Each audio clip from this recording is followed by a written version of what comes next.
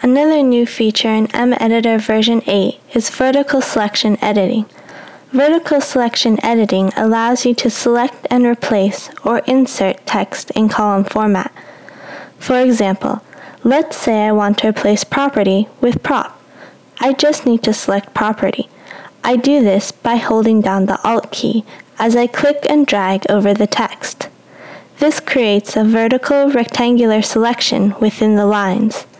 Next, all I need to do is type prop and property is replaced. I can also select text by pressing Ctrl Shift F8. Now let's replace text at the beginning of my lines.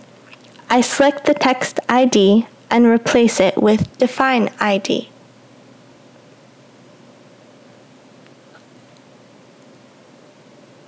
I can even insert text at the last part of my lines by selecting at the end of my lines and typing comments.